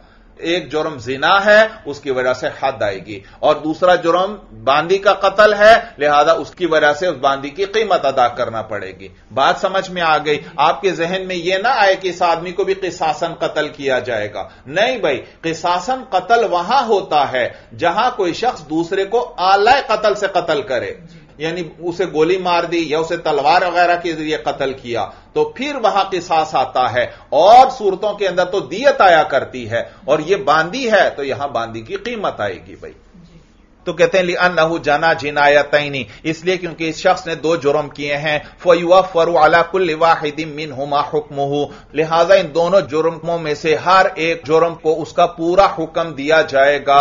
वन अबी यूसुफ रहमल्ला ला युहद्दु। और इमाम अबू यूसुफ रहमल्ला से रिवायत है कि इसको हद नहीं लगाई जाएगी। लिअन तकर्र जमान कीमती सबब लिमिल किल अमती। इमाम अबू यूसुफ रहमल्ला फरमाते हैं कि ये जब बांदी का जमान अदा कर देगा देगा तो ये बांदी का मालिक बन गया। बांदी का इसलिए क्योंकि इसने कीमत अदा करनी है बांदी की। तो जब यह जमाने कीमत अदा करेगा किसी चीज़ की जब कीमत अदा कर दी जाए तो इंसान उसका मालिक बन जाता है। तो यहाँ पर भी यह शख्स बांदी का मालिक होगा। और किस वक्त से मालिक होगा? जिस वक्त बांदी हलाक हुई थी। और याद रखो हद कायम होने से पहले अगर इंसान उस माल का मालिक बन जाए तो फिर हद साकित हो जाती है। मसन एक शख्स ने चोरी की है और चोरी काजी के पास साबित भी हो गई। चोरी काजी के पास साबित भी हो गई और आप जानते हैं हद जो है अल्लाह का हक है। किसी को इसमें सफारिश करने की या माफ़ करने की इजाज़त नहीं है। तो काजी के पास चोर की चोरी साबित हो गई। लेकिन अभी चोर का हाथ नहीं काटा गया था कि वो जो मालिक था, जिसकी चोरी हुई थी, उस मालिक ने वो सामान चोर को हिबा कर दिया। कि तुम इसके मालिक हो गए तो याद रखो यहाँ हद जारी होने से पहले चोर उस माल मसरूक का उस चोरी शुदा माल का मालिक बन गया तो हद साकित हो जाएगी। तो मालिक ने इसे हिबा कर दिया तो इस मालिक होने की निस्बत उस वक्त की तरफ़ की जाएगी जब इसने यह सामान उठाया था चोरी किया था। गोया उस वक्त से ही यह मालिक है गोया इसने अपना ही माल उठाया था तो लिहाजा हद साकित हो गई। तो इमाम अबू यूसुफ रमला की दलील चल रही है। वो फरमाते हैं जब ये बांदी की कीमत देगा जमान के तौर पर तो ये बांदी का मालिक बन गया। जब मालिक बन गया हद कायम होने से पहले ही तो फिर इस सूरत में हद साकित हो जाया करती है भाई। तो कहते हैं वान अबी यूसुफ रहमला अनहद और इमाम अबू यूसुफ रमला फरमाते हैं कि इसको हद नहीं लगाई जाएगी। ले अन्ना तकर जमान कीमती। इसलिए क्योंकि कीमत के जमान का साबित होना सबब उन मिल किल आमती यह सबब है बांदी की मिल्कियत का। तर्जमा समझ में आ रहा है ले अन तकर्र जमान कीमती इसलिए क्योंकि जमान कीमत का साबित हो जाना सबब मिल किल अमती, ये बांदी की मिल्कियत का सबब है। फसार कमा बाद अमा जाना बिहा तो ये ऐसे ही हो गया जैसे इसने इस बांदी को खरीद लिया हो, बाद अमा जाना बिहा, बाद इसके साथ जिना करने के। कहते हैं, ये इसी तरह है जैसे एक शख्स एक बांदी से जेना करे और फिर हद कायम होने से पहले उस बांदी को खरीद ले। तो इस सूरत में भी याद रखो, इमाम अबू यूसुफ रमला का इख्तिलाफ है तरफेन से। तरफेन फरमाते हैं कि हद आएगी। इसने बाद में खरीदा है, जिस वक्त इसने जिना किया था, उस वक्त तो ये इस बांदी का मालिक नहीं था। लिहाजा तरफैन फरमाते हैं इस आदमी पर हद आएगी जिसने बांदी को जिना के बाद खरीदा है। जबकि इमाम अबू यूसुफ रमला फरमाते हैं कि इस आदमी पर हद नहीं आएगी। बात समझ में आ गई। तो यहाँ पर भी तवज्जो है मसला ज़िक्र हो रहा है कि एक शख्स ने बांदी से जिना किया और उसी से वो मर गई। तो इमाम अबू यूसुफ रमला फरमाते हैं कि ये उस बांदी की कीमत दे देगा। जब कीमत दे देगा तो हद भी साकित हो गई। ये इसी तरह है, जैसे कोई शख्स किसी बांदी से जिना करे और फिर हद कायम होने से पहले उसको खरीद ले तो जब हद से पहले मालिक बन गया तो वह हद साकित हो जाएगी। जबकि तरफेन फरमाते हैं कि नहीं, हद साकित नहीं होगी भाई। तो कहते हैं फसारा कमा इदश तराहा बादा मा जाना बिहा। तो ये इसी तरह हो गया, जैसे इस शख्स ने बांदी को खरीद लिया हो, उसके साथ जिना करने के बाद, वह हुआ अला हादल इख्तिलाफी। और ये मसला भी इसी इख्तिलाफ पर है। इन इसमें भी ये जो बांदी खरीदने वाला मसला है इसमें भी इमाम अबू यूसुफ रमल्ला और तरफैन का इख्तिलाफ है भाई। वह तेराज सबबिल मिल की कबला इकामतिल हद्दी यूजिबु सुकूत अभी इमाम अबू यूसुफ रमल्ला की दलील चल रही है कि यहाँ पर यह शख्स जो है बांदी की कीमत अदा करेगा बतौर जमान के। तो लिहाजा यह हद के कायम होने से पहले ही मालिक बन गया। जब आ, मालिक बन गया तो अब हद साकित हो जाएगी।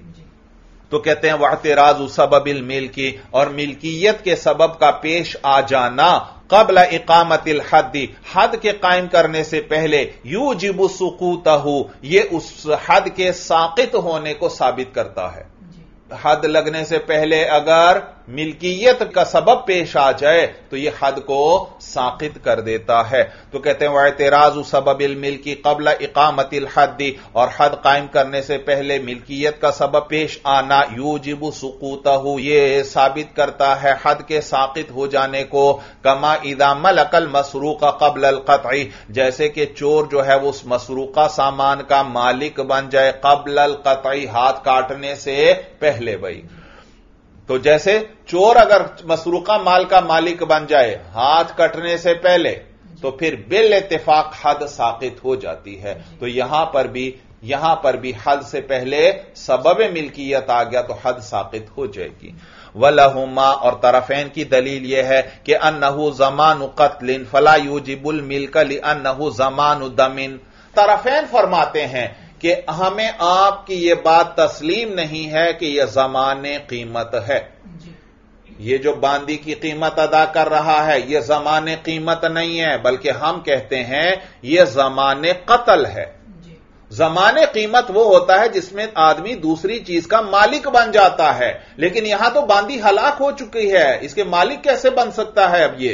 तो ये जो जमान दे रहा है यह जमाने कीमत नहीं है बल्कि यह जमाने कत्ल है भाई। कहते हैं, वलहुमा तरफेन की दलील यह है कि अनहु जमान कतलिन, कि यह जमाने कत्ल है, जमाने कीमत नहीं। फला यूजिबुल मिल का लिहाजा यह मिल्कियत साबित नहीं करता, क्योंकि मुर्दा बांदी, वो तो मिल्कियत का महल ही नहीं है। तो कहते हैं यह जमाने कतल है, फला यूजिबुल मिल का तो यह मिल्कियत को साबित नहीं करता li नहू जमान दमिन, इसलिए क्योंकि यह खून का जमान है, यानी कत्ल का जमान है। वलौका न यूजिबुहू, यहाँ से तस्लीमी जवाब दे रहे हैं। पहला जवाब क्या?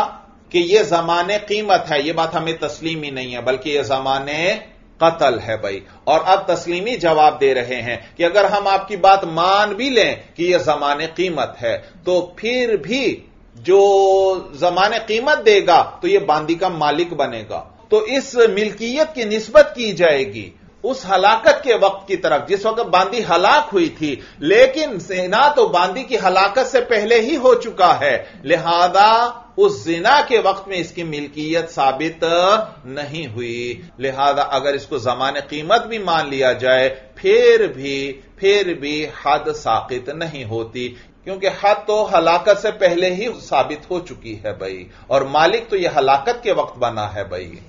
भाई, याद रखो, मैंने आपको बतलाया था कि जो सिफात हैं, चीज़ों की जो सिफात हैं, इनमें तजद्दुद होता रहता है। हर हर लम्हे के अंदर नई सिफत आ रही है। मसलन, ये जो चीज़ों का रंग है, ये रंग भी एक सिफत है इनकी। और ओलमा फरमाते हैं कि सिफात के अंदर तजद्दुद होता है। सिफात के अंदर बका नहीं। हर हर लम्हे में नई सिफत आ रही है। या दूसरी मिसाल ले लो, जैसे एक घर की रिहाइश है, कोई आदमी घर को किराए पर देता है और उस किराया वसूल करता है। यह किराया इवज है उस रिहाइश का, और यह रिहाइश घर की सिफत है, और सिफत के अंदर बका नहीं। जो जो वक्त गुजर रहा है, घर की रिहाइश गुजरती जा रही है। क्या कोई शख्स ऐसा कर सकता है कि सारा साल अपना घर किराए पर नहीं देता बल्कि उसकी रिहाइश को जमा करता जाए और फिर साल के आखिर में इकट्ठी वो सारी रिहाइश किराए पर दे दे? तो ऐसा नहीं हो सकता भाई क्योंकि जो जो वक्त गुजरता जा रहा है उस घर की रिहाइश यानी यूँ कहो उस घर के मनाफे गुजरते चले जा रहे हैं। क्योंकि रिहाइश क्या है? सिफत है ये मनाफे हैं और मनाफे के अंदर बका नहीं। जात के अंदर तो बका होती है। एक पत्थर आपके सामने आज पड़ा है। दस दिन बाद भी यह पत्थर उसी तरह है, क्योंकि यह एक जात है। जात के अंदर तो बका होती है, लेकिन सिफात के अंदर बका नहीं है। तो लिहाजा, अगर हम इसको जमाने कीमत भी मान लें तो फिर भी हलाकत के वक्त यह बांदी का मालिक बना है। और हलाकत से पहले ही यह मुनाफे वसूल कर चुका है। और उन मुनाफे के वक्त यह मालिक नहीं था, लिहाजा उस वक्त तो हद साबित हो गई थी तो वह हद अब साकित नहीं होगी, ये तरफेन फरमाते हैं भाई। तो कहते हैं वलऊ काना यू जीबूहू और अगर आपकी बात मान लें कि यह जो जमान है यह मिल्कियत को साबित करता है। पीछे आया था ना? अन्नहु जमान कतलिन फला यू यूजिबुल मिल्क यह मिल्कियत को साबित ही नहीं करता।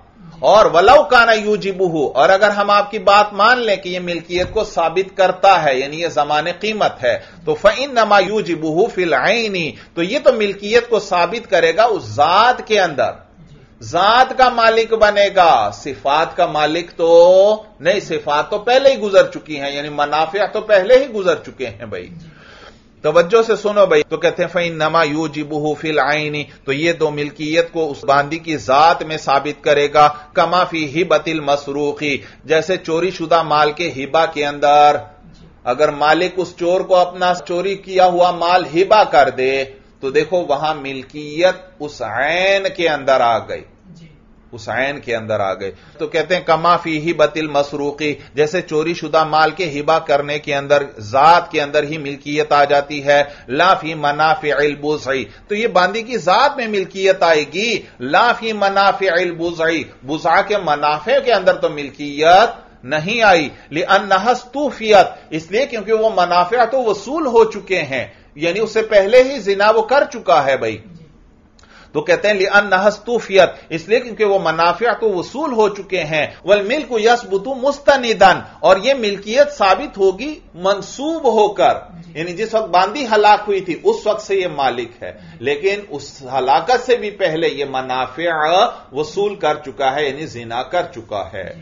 तो कहते हैं, वल मिल्क यसबुत मुस्तनिदान, और यह मिल्कियत जो है मंसूब होकर साबित होगी। फला यज फिल मुस्तौफा, लिहाजा यह मिल्कियत ज़ाहिर नहीं होगी। उन मनाफिया के हक में अल मुस्तौफा जो पहले ही वसूल किए जा चुके हैं। लिकाउ निहा मादूम मतन इसलिए क्योंकि वह मादूम हो चुके हैं, क्योंकि सिफात में तजद आता है। हर हर लम्हे में नई सिफत आ रही है तो गुजश्ता सिफत गुजरती जा रही है। तो यहाँ पर भी बांदी के जो मनाफिया हैं, वो गुजरते चले जा रहे हैं। तो जिस वक्त ये मालिक बना उस वक्त तो वो मुनाफिया जो ये वसूल कर चुका था वो तो मादूम हो चुके हैं वो तो गुजर चुके हैं भाई। ये माना है लिकाउ निहा मादूम मतन इस वजह से कि वो मादूम हो चुके हैं।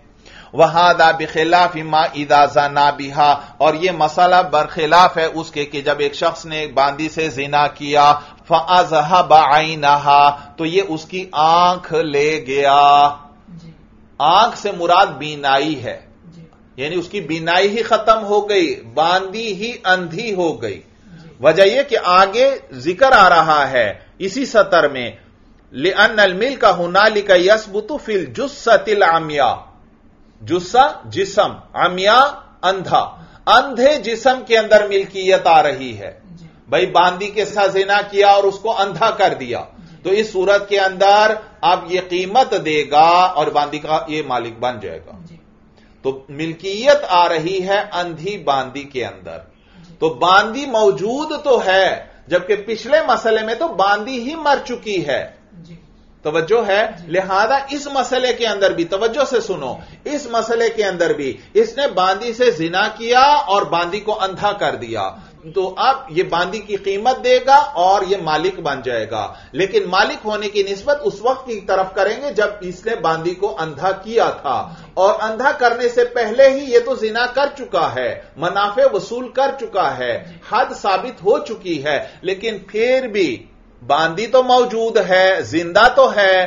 तो लिहाजा जब ऐन बाकी है तो ऐन के ताबे करते हुए हम मनाफिया को भी बाकी शुमार करेंगे और यूँ समझेंगे कि उस उन मनाफिया का भी यह मालिक हो गया। जब उन मनाफिया का भी मालिक हो गया तो फिर अब इस पर हद नहीं आएगी। यह मनाफे के वक्त ही बांदी का मालिक था। या यूँ कहो वो मनाफिया भी इसी के ममलूका थे। भाई वो मनाफे कैसे इसके ममलूका हो सकते हैं? वो मनाफे यानी वो जिना तो पहले हुआ है और मालिक बाद में बन रहा है। तवज्जो है, भाई, जमान तो ये इस वक्त दे रहा है, लेकिन इस इस मालिक होने की निस्बत उस अंधे होने के वक्त की तरफ़ की जाएगी। तो अंधे होने के वक्त यह मालिक बन रहा है, लेकिन जिना तो उससे पहले यह कर चुका है, मुनाफे तो उससे पहले वसूल हो चुके हैं। तो फिर यहाँ आप कैसे कहते हैं कि वो मुनाफे इसके ममलूक थे, लिहाजा इस पर हद नहीं आएगी? शुबा आ गया कि मुनाफे इसके ममलूक थे, लिहाजा हद नहीं आएगा। कहते हैं, भाई, दोनों मसलों में फ़र्क है। पिछले मसले के अंदर बांदी हलाक हो चुकी है। जब ऐन हलाक हो चुकी है तो जब ऐन में बका नहीं तो वहाँ ऐन के ताबे रखते हुए मुनाफे के बका का हुक्म नहीं लगाया जा सकता। लेकिन यहाँ पर यह बांदी अंधी हुई है, लेकिन है तो ज़िंदा। तो जब ऐन के अंदर बका है तो इस ऐन के ताबे करते हुए मुनाफे के अंदर भी बका मान ली जाएगी। ये यूँ कहो। कि दोनों में फ़र्क है, वहाँ पर, वहाँ पहले मसले में वो बांदी हलाक हो चुकी है। तो जब बांदी हलाक हो चुकी है तो वहाँ पर बांदी के ताबे करके भी हम मुनाफे का मालिक इसको करार नहीं दे सकते। जबकि यहाँ पर बांदी ज़िंदा है, अगरचे अंधी हो गई है, लेकिन ज़िंदा तो है। तो बांदी है असल और मुनाफे हैं उसके ताबे। तो जब हम बांदी का मालिक करार दे रहे हैं तो ऐन के ताबे करते हुए मुनाफे का भी हम इसी को मालिक करार दे देंगे। जब यह उन मुनाफे का भी मालिक है तो यह जिना नहीं यह अपनी बांदी से इसने वती की है। तो जब जिना नहीं तो इस पर हद भी नहीं। नहीं आएगी। फ़र्क समझ में आया? एक मसले में बांदी हलाक हो चुकी है तो वहाँ जब ऐन ही बाकी नहीं जब ऐन के अंदर ही मिल्कियत नहीं आ सकती तो मुनाफे में भी मिल्कियत नहीं आ सकती। और यहाँ पर जब ऐन बाकी है ऐन के अंदर मिल्कियत आ रही है तो ऐन के ताबे करते हुए मुनाफे के अंदर भी हम मिल्कियत साबित कर देंगे। तो कहते हैं वहादा बेखिलाफ मा ईदा जना बिहा। और यह मसला बरखिलाफ है उस सूरत के जब इस शख्स ने इस बांदी से जिना किया फ़ाजहा बाइनहा तो यह उसकी बीनाई ले गया। यानी इसने इसकी बीनाई खत्म कर दी। तो आयन का क्या माना किया मैंने? बीनाई। जबकि हिदाया के बाद नुस्खों में यहाँ तस्निया है फ़ाज हाबा आय नए हा भाई। वो उसकी दोनों आँखें ले गया। तो फिर बीनाई का माना करने की ज़रूरत भी नहीं रहती। क्योंकि जब दोनों आँखें चली गई, मालूम दोनों आँखों की बीनाई खत्म हो गई। फजहब नहा तो ये इसकी बीनाई ले गया, यानी इसने उसकी बीनाई खत्म कर दी। यह जिबो अलही कीमतुहा तो इस शख्स पर उस बांदी की कीमत वाजिब होगी। वयस्कुतुल हद और हद साकित हो जाएगी। नल मिल का हूँ ना लिका यसबुतु। इसलिए क्योंकि मिल्कियत जो है, यहाँ पर साबित हो रही है, फिर जुस्सतिल आमियाई अंधे जिसम के अंदर वह आइन और ये अंधा जिसम, ये तो जात है, ये तो सिफत और मनाफे नहीं है। वही आइन और ये तो जात है फ़ावरसत शुभतन तो इसने शुभा पैदा कर दिया कि जब ये जात का मालिक है तो शुभ आया कि ये मनाफे का भी मालिक है भाई। तो इसलिए हद साकित हो जाएगी। बात समझ में आ गई। आगे देखिए, काल वकुल्लु इंसान आहुल इमामुल्लदी लई सफ़ा कहू इमाम फला हद अलही किसास। भाई, अब वो पांचवीं शर्त का बयान आ गया। इजराय हद के लिए पाँच शर्तें थी। पहली शर्त, कि दारुल इस्लाम हो। दूसरी शर्त, कि वो जिना करने वाला मुकल्लफ हो। तीसरी शर्त, कि वो रजामंदी से जिना करे। और चौथी शर्त कि दोनों इसके जिना होने पर इत्तेफाक करें। और पांचवी शर्त यह कि हद कायम करने वाला इमाम हो, यानी खलीफतुल मुस्लिमीन हो। अब उसको बयान करने लगे हैं। तो कहते हैं, काला वकुल्लु शय इंसान आहुल इमामुल्लदी लई सफ़ा कहू इमाम फला इल्लल्किसास भाई, सूरत ये कि इमाम ने इमाम ने कोई ऐसा जुर्म कर लिया जिसकी वजह से इस पर हद वाजिब होती है। तो क्या इमाम पर भी हद वाजिब होगी या नहीं? कहते हैं नहीं इमाम पर हद वाजिब नहीं होगी। इसलिए क्योंकि हद वसूल करना खुद इमाम का काम है। और इस इमाम के ऊपर तो कोई और इमाम है नहीं जो इसे हद वसूल कर सके। लिहाजा इस पर हद वाजिब करने का कोई फ़ायदा ही नहीं है। वसूल फिर कौन करेगा अगर आप वाजिब करार दे दें? और वसूल नहीं होती तो इसके वाजिब करने का फ़ायदा नहीं है भाई। तो कहते हैं, काला इमाम मोहम्मद रहमल्ला जाम सगीर में फरमाते हैं वकुल्लुश इंसान आहुल इमाम कि हर ऐसी चीज़ जिसको वो इमाम करे, अल्लाजी लई सफो कहो इमाम उनकी जिसके ऊपर कोई और इमाम नहीं। यानी कोई गवर्नर या काजी नहीं, बल्कि खुद बादशाह या इमाम ऐसा करता है। तो कहते हैं, वकुल्लु शय इंसान आहुल इमाम, और हर ऐसी चीज़ जिसको वो इमाम करे। अल्लाजी लई सफो कहू इमामुन, जिसके ऊपर कोई और इमाम नहीं है। फला हद अलही तो उस पर हद नहीं है। इल किसास, सिवाय किसास के। हाँ, अगर ये इमाम कत्ल करता है किसी को तो इससे किसास लिया जाएगा। तो कहते हैं इल किसास, सिवाय किसास के फ़ैन नहू खदुबिही वबिल अमवाली। इसलिए क्योंकि इमाम जो है, वो माखूज होगा किसास के साथ भी वबिल अमवाली और लोगों के माल के साथ भी। अगर इमाम किसी के माल गसब कर लेता है, या किसी को कत्ल कर देता है आल कत्ल से तो वहाँ उससे किसास लिया जा सकता है। और वो माल वाले उससे अपना हक वसूल कर सकते हैं भाई। तो कहते हैं लिअन हदूद हक़ुल्लाह ताला, क्योंकि हदूद जो है वो अल्लाह का हक है वह इकामतुहा ला इला गैरी और इन हदूद को कायम करना इस इमाम ही के सुपुर्द है, ला इला गैरी न कि इसके अलावा किसी और के वला युमकिन अयुकी माला नफसी ही और इसके लिए तो मुमकिन नहीं है कि अपने ऊपर हद कायम करे ले अनहू ला युफीदू, क्योंकि यह फ़ायदा नहीं देगा। क्योंकि यह फ़ायदा नहीं देगा कि इस पर हद को वाजिब करार दिया जाए। इसलिए क्योंकि हद का इजरा जो है यह जिल्लत और रसवाई का बायस है। हद जब किसी शख्स पर जारी की जाती है तो यह उसके लिए जिल्लत और रसवाई का बाइस है। तो कौन बादशाह जो है अपनी जिल्लत और रसवाई पर राज़ी होगा भाई? तो लिहाजा उस पर हद कायम नहीं की जा सकती।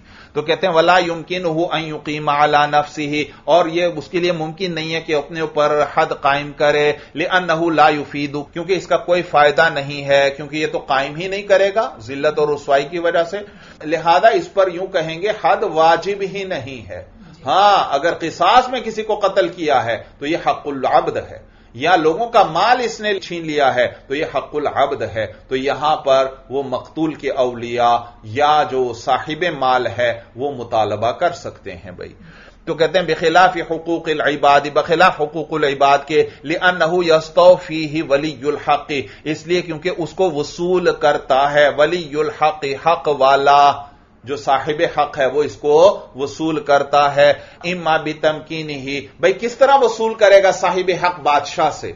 कहते हैं इमा भी तमकीन ही। या तो बादशाह के कुदरत देने से, कि बादशाह उसको कुदरत दे कि मुझसे किसास ले लो। या मुझसे नावाल, माल वसूल कर लो और उनको अदायगी कर दे भाई। तो कहते हैं, इम्मा भी तमकीन ही, या तो उस बादशाह के कुदरत देने से और बिल इस्तेआनती बिमन आतिल मुस्लिमीना, या मदद लेते हुए मुसलमानों के लश्कर से मनाह कहते हैं लश्कर को भाई। और बिलस्तानती बिमन आतिल मुस्लिमीना, या मुसलमानों के लश्कर से मदद मांगकर, वल किसास वल अमवाल मीनहा, और किसास और माल जो है मीन हा वो हकूकुल इबाद में से हैं। हुकूकुल इबाद वसूल किए जा सकते हैं तो ये किसास और लोगों के माल हुकूकुल इबाद में से हैं। वह अम्मा हद्दुल कजफी, और हद कजफ भाई क्या बादशाह अगर किसी पर जिना का इल्ज़ाम लगा दे तो क्या बादशाह पर हद कजफ जारी की जा सकती है? कहते हैं नहीं। हद कजफ जो है इसके अंदर बंदे का भी हक है। एक शख्स पर जिना का इल्ज़ाम लगाया गया है तो उसका हक है वो काजी से मुतालबा कर सकता है कि इस शख्स पर हद कजफ जारी की जाए।